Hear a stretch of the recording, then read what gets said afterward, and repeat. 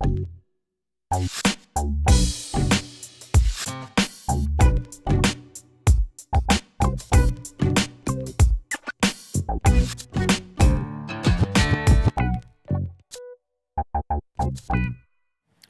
thanks. Thanks, Marcus. Thanks, Tony. Hi.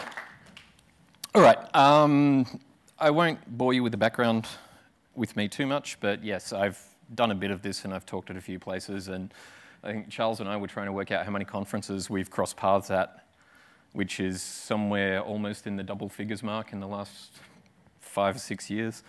Um, so this is fun. And for me, this is a, a talk. Um, so I don't know whether any of you have done your homework about me. Um, um, Mondada is a company of mine that specializes in doing OS 10 packages. That's what we do. That's all we do. Um, and I don't normally talk about this in a public forum. So this is the first time in almost six years, I think, that I'm going to do, um, well, a talk of sorts that I've done before. Anyway, um, I'll start with a little bit of background as to how we started and why we did this. And this goes all the way back to 10.0. I got really, really frustrated with the OS installers um, and update patches requiring a restart, and you weren't able to queue installs back in 10.0. So it was one restart, or one install, one restart, one install, one restart. And I thought, there's got to be a better way to do this. And so I started to have a look at the way the package was put together, and I pulled them apart and realized that you could create the, like the OS had multiple packages, so why couldn't I just do that? So I was just editing all of the updaters, queuing them, putting them all in one place, and then having one install, one restart. And that was to save me time, and that was what it was all about. So that sort of evolved over time and started throwing third-party apps in there for deploying environments really quickly because um, I hate to say it, but I don't believe in imaging at all, um, and haven't had for a, for a very long time. Um, so we started, I started rolling in third-party software and things like that, improving the process, making it a bit quicker and learning how it all worked. We've now, and that sort of turned into a commercial entity and now we've been running for about six years. So I don't do transitions and, and all of that sort of stuff. My, my slide notes are more or less bullet points for me to remember what I'm supposed to be talking about. Um, in the last couple of years, I've actually been recording what's been happening at Mondada and how many things that we're doing. So we do software for about 270 odd vendors, um, which loosely equates to about 550 titles, I think. And it's just shy of 1,200 packages currently being maintained by us, um, which is a lot. Um, in 2014, when we had all of the updates and all of the bits and pieces go through, we did 3,000 or 3,500, somewhere around that. Packages were created by us and delivered to customers, and they are the application cores and updates only. That discounts settings packages, um, which contained license files for customers and things like that. We didn't track that statistic at the time. Um, we delivered around 11,000 packages to customers that year. So I have a unique perspective on this. I do it a lot. Um, and if you were to work out the averages from those numbers, you'd probably think that I look at maybe eight to 10 things a day, every day. Um, 2015, we're about halfway through the year and our stats are sort of matching up to what we had there. We're seeing a few less updates, so henceforth a few less deliveries, and it's um, making things a little bit easier. Um, anyway, right into it, because I'm not here to promote my own company. I'm here to actually talk about packaging and the concepts we use and the techniques we use and the tricks we use that people may be able to take away and help themselves with. Um, so it, it, comes down to where are your, your best practices. And I've seen a few other little slides and talks and notes and guides and things just trawling the web and having a look at it. Um, the, the, the ultimate goal, the holy grail, is to be able to install on any volume. Yay, that's good but it's not always possible. Um, and we'll get into the technical details of that when I start breaking down the different types of workflows that you're going to see. Um, try and avoid changing things with pre and post tasking scripts. Um, it doesn't get tracked by the receipt, and particularly if you're doing things like that um, with Jamf, uh, with, with Casper, and you've indexed your packages for uninstall, and you've modified a whole bunch of stuff outside what the payload is, because it's only the payload gets it, that gets indexed and removed, you've still got changes sitting around in the system that you've got to undo. And if you're going to do heavy pre and post tasking, put little echo statements in your, your scripts so that it goes back out to the error log or the message log or what's going on in the, um, when the installation process happens. So if something goes wrong, you can actually find out what went wrong. It's always helpful. A lot of reference materials. Um, the, the really official ones, uh, effectively the Apple ones, if rather than try and copy down these great big huge long URLs, I was a bit too lazy to do tiny URLs to make it easy for everyone. Um, but the main headers of these things, just Google those. They will be the first hits in the list. Um, they usually are. So um, Apple have a, a, couple of really good guides around particularly the XML schema reference for the distribution file, which basically controls the entire behavior of the package. This is very, very useful to you. Um, the installer JavaScript reference is, well, languages that suck. JavaScript is one of those. Um, because you can do some really weird and wonderful things with JavaScript. But the, the updated XML um, schema reference and the updated XML in what's called a version 2 package, uh, which is what the App Store uses, is really good. It's got some additional tags in it that I'll dive into that I find incredibly useful for um, for just defining things that we had to do in JavaScript previously. And there is also a um, software delivery legacy guide out there when you're dealing with old things that you want to wrap up into a new format and stuff, and that's always good to read and try and figure out what someone was actually thinking when they did it in the first place. Um, diving right through it. I'm going to go fast too, by the way. You might have to play this back in slow motion later. Um, but the distribution. Um, so the distribution is the main wrapper. This is the thing, it's not always there. So if you have a look at the OS installer, you will find that there is an OS osinstall.mpkg, which is a meta package. That actually has a distribution in it that references all of the other things externally. Those external things are just simple flat packages. They're dumb. They only have their descriptor. They don't have any checks and balances and anything around it in the background. But the, um, the main things I find useful in the distribution um, outside of the guide because the guide doesn't really define the syntax very well. Um, and these, there are no real tools for implementing these features.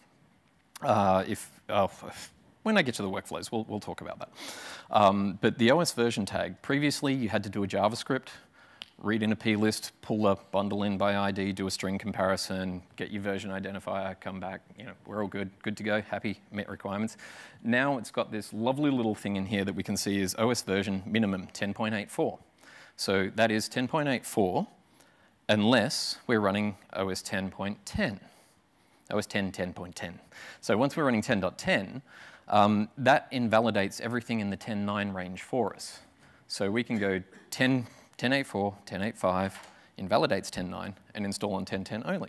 So you can actually have ranges of OSs in there. And it's a fairly simple syntax, and there's a whole lot less than having conditional JavaScript statements and big, big blocks of code that will check and invalidate your installer. Um, the other one I find is sort of useful um, and can come in handy, but it only really works when you're working inside the UI. So if you're using a management tool like Absolute Manage or Casper or anything along those lines, um, the must close tag finds an application by its bundle identifier regardless of its location, checks to see if it's running, and then interacts with the user and tells them to close the application. So the installation proceeds. That's nice and logical. When you're doing a command line install, that gets ignored. Every management tool does a command line install. We have a way to deal with that. Um, required bundles is another one, which is great for doing upgrades. So you might be upgrading an application in place or applying a small level patch to it, but you need to know that the application exists beforehand. Now, the mechanism of doing it by path to application, you know, like file exists and all of those things that you can do in JavaScript, um, isn't always reliable because users can move things, and we have to account for that.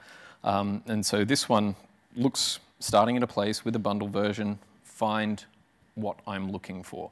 You can do a um, search validator on that, but I didn't quite have enough room to put that in there, and we rarely do it at the moment because we just simply replace everything holus bolus. It seems to be a little bit safer. Um, the selections component of the package, previously there was just basically um, start selected, start enabled, so whether or not the user can actually check the box, whether or not it is actually checked to start with, um, and then you know, force mandatory selection and do script evaluations around that. Um, there's another little lovely thing that we've got here, um, which is the active tag. So you can make something inactive based on the presence of a bundle. Very, very, very good to do. So you can actually just switch off the, the ability to install with a simple bundle check that the OS handles for you rather than scripting things with JavaScript and all of that sort of fun stuff. Um, and relocate. You find an old version, but the user may want the old version. So you can locate the bundle by IT, ID and you can just dump it into an old folder. Uh, the, that sort of appeared when I believe I first saw that when we were dealing with iMovie at one point in time because there was the iMovie HD and then that got moved to a previous iMovie folder or a previous versions folder and that sort of stuff. So that's, that's also very useful. These are the things that you need to dig into the guide, the, the XML reference, and have a really good look at because there are some interesting tidbits in there that you can do. There are other things like RAM checks, available disk space checks, and all of those things. And the, the syntax is very simple. Once you see a couple of examples, you sort of understand how it all works. Plugins. Um, so I had my first experience with actually writing a proper plugin um, a few weeks back, and I believe the people I wrote it for are in the audience. So this was to capture intangible stuff that wasn't able to be captured programmatically from the computer, like the asset tag. So you have someone enrolling your computer into Casper and you want to record the asset tag. So writing an installer plugin that you could punch in some information. It would then basically in the background submit that to the, um, the JSS using the API and pre-create a computer record, which it would then update when the computer enrolled. It was nice and easy, but don't make plugins a showstopper if you're doing unattended installs. So it's good for serial numbers, it's good for all of that sort of stuff. But if you make it a showstopper, your installation is going to fail. So you need to be able to get through that ability and have the, um, sorry, get through that step and have the ability to update it later. It's just useful on occasion. Um, there is a reference example, um, an Xcode example, which you have to tune a little bit um, in Apple's sort of legacy software division. You can download the sample thing, open the project in Xcode, and it will actually tell you where all of the problems are in it because, well, it was written for 10.4 and we're now about six versions of the OS later than that. Um, but it was, it was fairly straightforward to walk through that process, figure out how it was doing what it was doing, add a few extra bits of code in there to actually hook into the, um, the API for the JSS, and, and away we went. Um, it was an interesting learning experience for me. It was also very intense because there were time constraints. right, into the packages themselves. There are some common components. There is the BOM file. Um, previously in the old bundle package format, it was called archive, uh, yeah, archive.bom. So it stands for bill of materials. What's in the payload itself? Um, the archive, which is called payload in a flat package and was called uh, archive.pax.gz in the old bundles packages. Um, so that contains the actual file. So the bill of materials tells you what's in the archive, what permissions are there, where they go, all that sort of stuff, complete tree structure.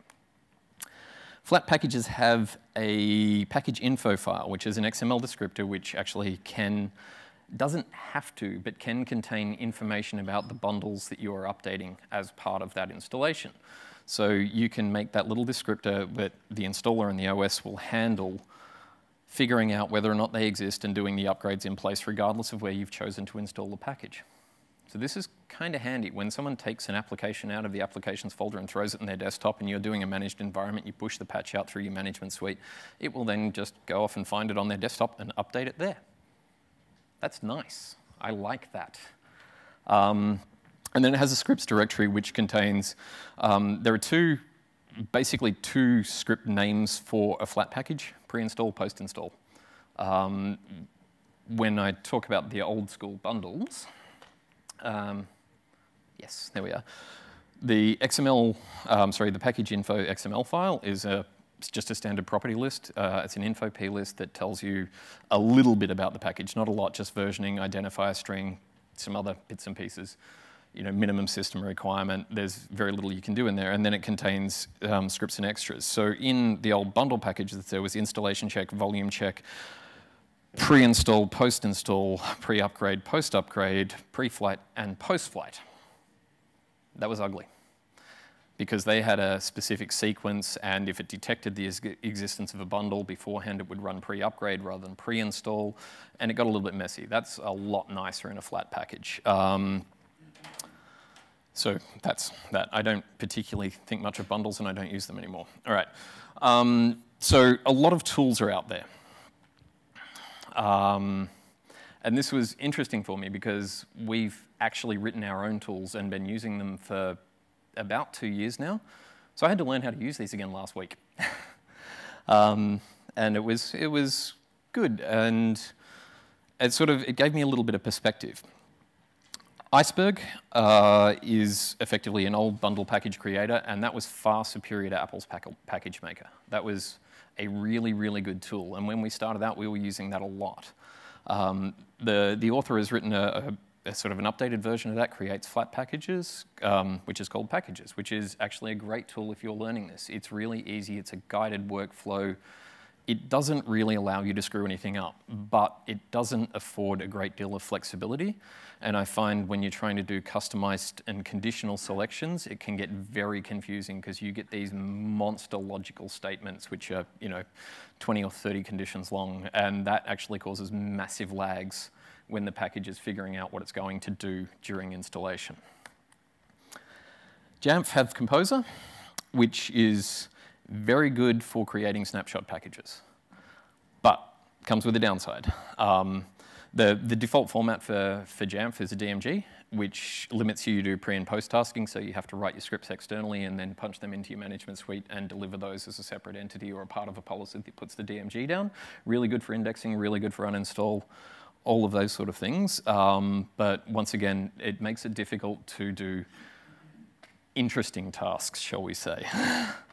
um, Adobe. Let's talk about things that suck, shall we? um, now, I could have probably done about four hours on this and not even scratched the surface with some of the quirks that we come across with the Adobe products. Um, and in particularly their mass deployment tools. Right, so anyone here had a go at this? Yeah, anyone here still sane? Okay. Um, yeah. All right, so this is, this is probably going to be the most valuable part of this entire presentation for everyone. So, Adobe had the Application Manager Enterprise Edition because you need to have a really long title and then a five-letter acronym, and it's a bloody mouthful to say, and I hate it. Um, it was a reasonable tool to do what it did. Uh, there are things that I like about what that does, and there are things that I do not like about what that does. Um, all of these tools from Adobe do not create a traditional package with a payload. They create a payload-free package and put the actual entire Adobe installer inside that as a pre or a post task. So it's a script. So they don't index. They don't uninstall very nicely. Fortunately, Adobe provide you with an uninstall mechanism. It generates an uninstall package, but there are some, some quirks with that as well. Basically, if um, there are certain Adobe titles that if you attempt to package them and create the uninstaller, the uninstaller simply doesn't work. Um, so there are, there are giveaways for what happens with that. Um, the concept of checking updates and grouping applications together and doing all sorts of other fun things, mm, hit and miss. Um, this evolved into the Creative Cloud packager when Adobe went to Creative Cloud, and now we have different license selections and models and all sorts of other fun things that you can do, and they now have it mandatory if you're using a, um, sorry, actually, quick question, show of hands. Who's using a device-based license for Adobe products? Yeah. Um, has anyone got pullback working for the licenses yet? So if you assign a license to a device and then you attempt to pull it back, is it actually coming out of your console yet? So that's still broken. Good to know. Um, there's a classic thing. Uh, serial number licenses for Adobe? Yeah. And I see people who have both of those things already. Um, and Teams licenses. Yeah. Okay. And so, and I find a lot of organizations actually have a mix of all of these things. Um, so not only do you have to bundle up the applications, but you have to bundle up the licenses and you have to do different versions of the licenses. And this starts to get fairly messy at this point in time. Um, so, and CCP has different licensing models that show you different things when you do it. And um, this is the company that keeps us in business, effectively. um, this is this is what I deal with all the time. Um, so they also have a third tool, which is a little bit lesser known, which is the customization wizard. Uh, that is specifically for Acrobat, and it's for doing serial number deployments of Acrobat that don't uh, require an Adobe ID to sign in. On the Mac platform, that is actually broken at the moment. It craps itself when you attempt to generate the provisioning profile, which is the thing that licenses the product.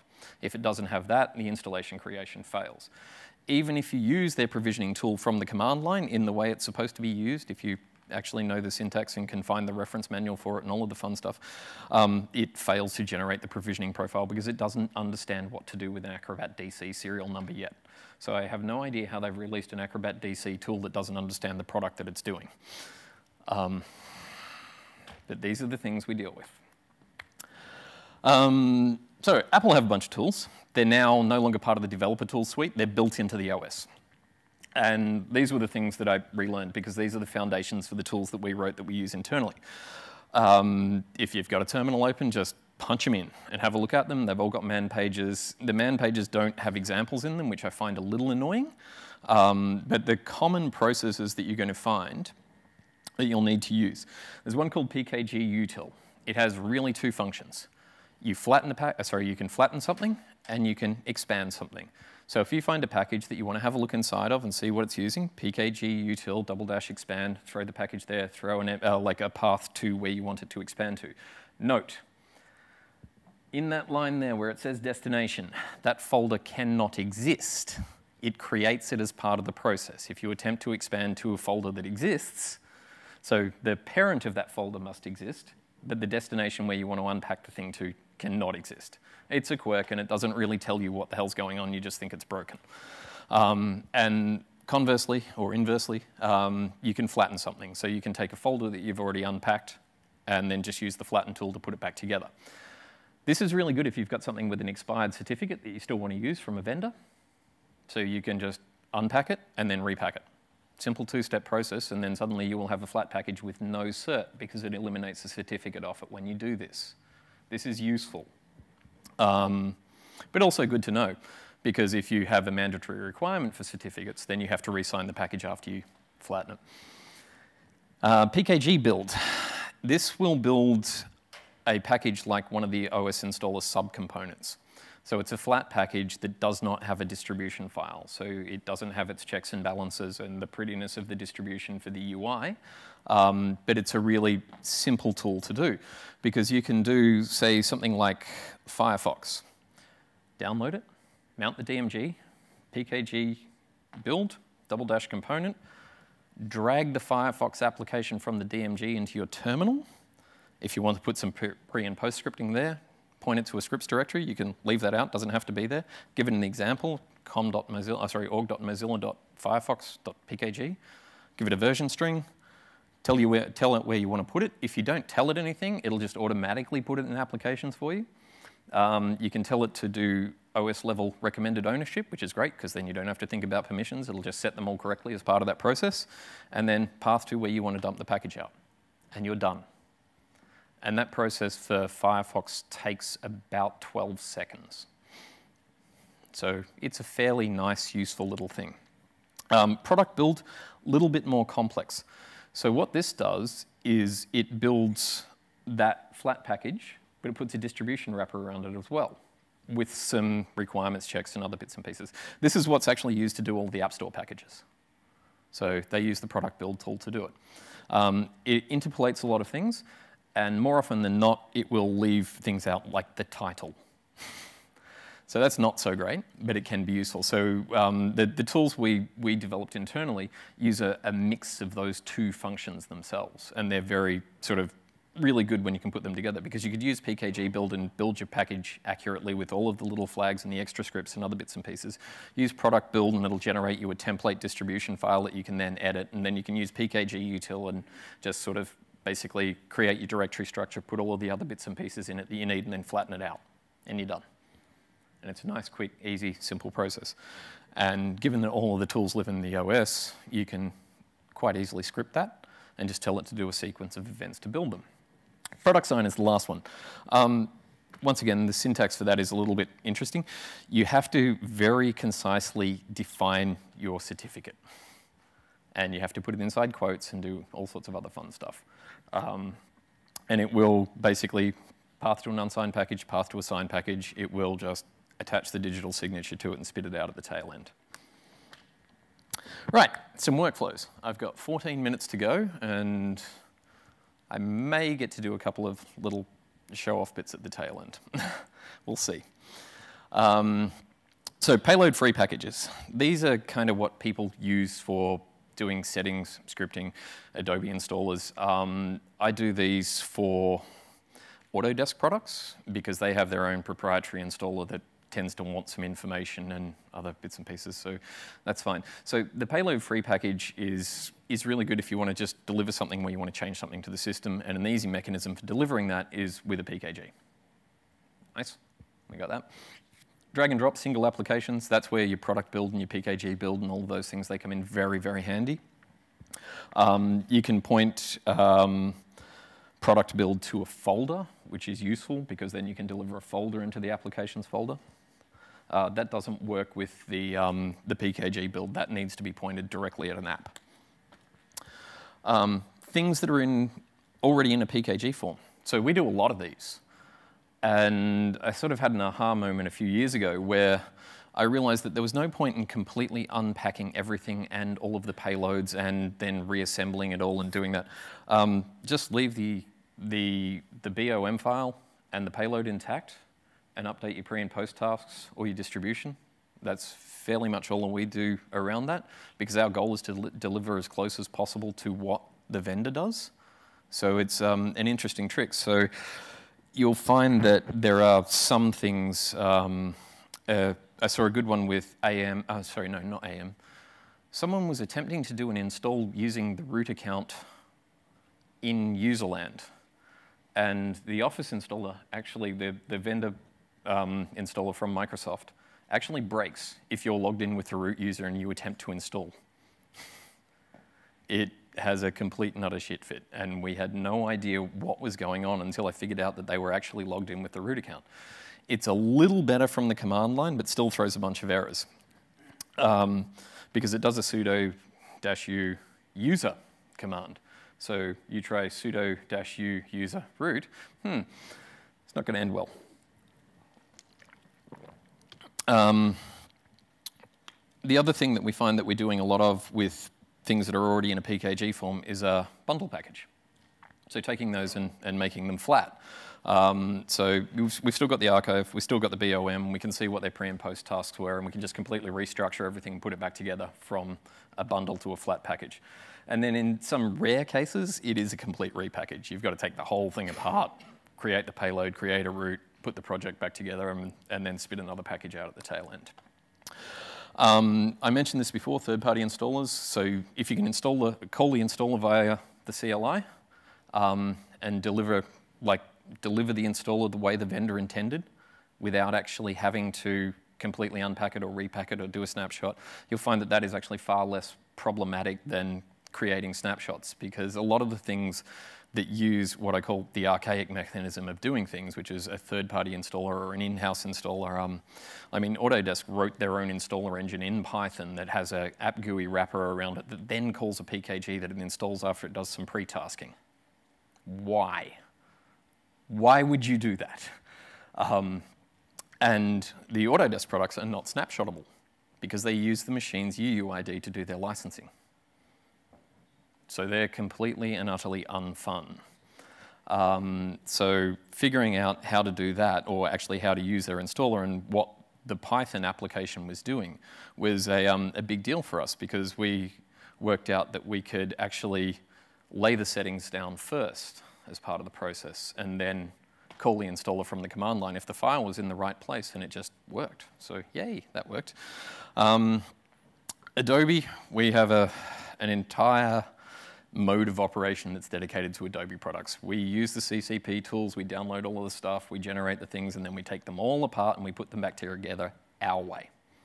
And that works for us, and it works really, really well. And I'll um, talk about that. Some gotchas with these things. Snapshots. Be careful when you're snapshotting. Do not snapshot things that you should, or do not include things that are probably not part of the package. Less is more in this scenario when you're testing. Stick with the, the very finer points, like what you can directly identify to the application.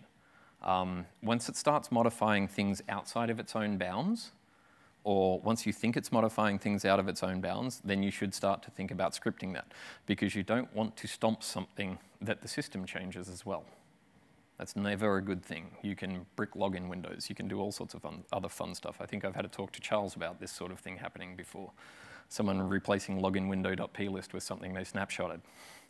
Um, didn't end well. Plugins. Um, be careful with those as well. Like a lot of the time, you'll find that the application will still deliver if you remove an existing plugin that asks for a serial number. So if you take a flat package, you unpackage, you take the, the, the, um, the plugin out that serializes it, you can then do the install. The, the software most likely won't license, but you can then just capture those settings with a snapshot, or you can do a script that will license the software for you, um, which is a really nifty little way of doing things. So you keep the vendor's package basically intact. Um, you just remove the thing that was the showstopper, you get through it, and then you apply your license key later. Easy. Um, and calling third-party installers can be a little bit dangerous on occasion. I've seen one or two that were asynchronous. So they would kick back a success message before they'd even finished doing what they were doing. Ouch. So, really what we do, and these are the, the things that I've just found work really, really well for us as an organization. But we are unique because we have a lot of customers, a lot of them use the same titles. And the way we work is based on deduplication of effort. How do we do something once, one time? And this can actually be applicable to your environment as well, because, um, yeah, Adobe. Let's talk about things that suck.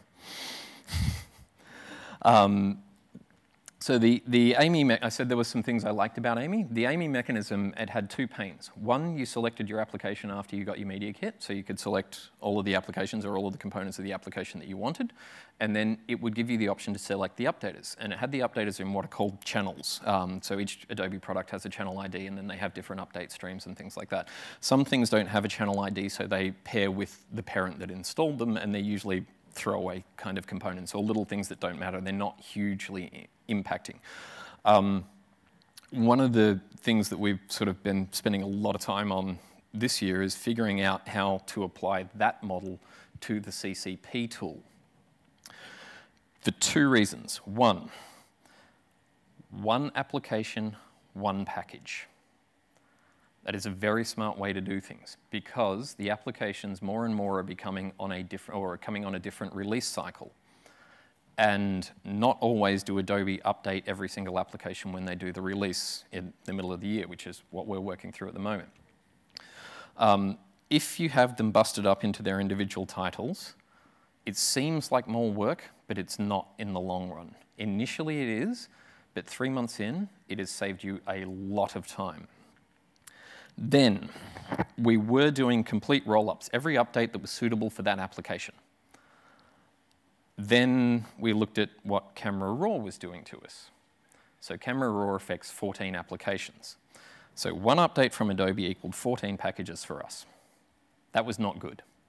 So Camera Raw is in its own update channel back in AMI. So we've started modeling everything on the AMI model rather than what CCP is telling us to do we reduced our number of updates, I think it was from 126 down to less than 80. So it cut a third of our workload out by a very simple little decision.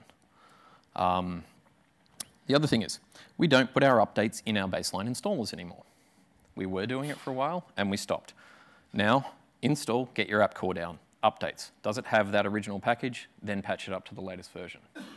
You've got those two, two things separated, you'll find that your workflows get a lot easier because you don't want to be pushing, particularly if you've got multiple apps in your original package and one update comes out and then you've got to regenerate an entire great big huge Adobe package for your original baseline install, it gets ugly. It gets really ugly really quickly. Um, and then we have our settings packages, so things that are individual to the customer. So basically, everybody gets the install and the update. The settings go out to people who want them. They contain their licensing info. They contain their um, any custom preferences that they want. Now, I'm not really sort of um, not really hugely excited about setting preferences using a package. You have management tools to deploy the software. Use the management tool to set the preferences. It is a better way to do it. And in particular, user profile. Um, the other thing that we do is we keep our scripts modular. So our scripts directory have basically a, pre-install and a post-install script in them, and then they have an actions directory for each of those. Now this is not new. If you pull an Apple package apart, you will find that they have those in there, and then we have the scripts set up to sequentially run in the order they need to run in the pre and post actions.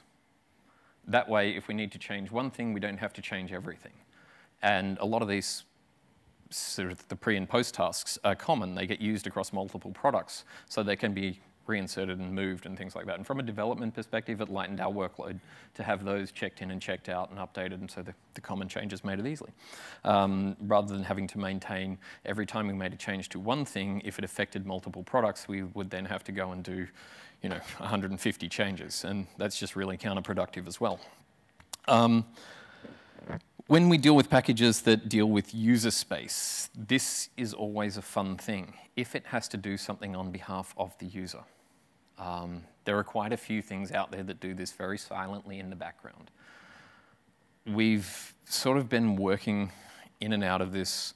We have had um, some really interesting experiences with it, but we've, um, we've kind of got it down to a, a reasonably fine art. Check dscl. Is it a mobile account? Is it a local account?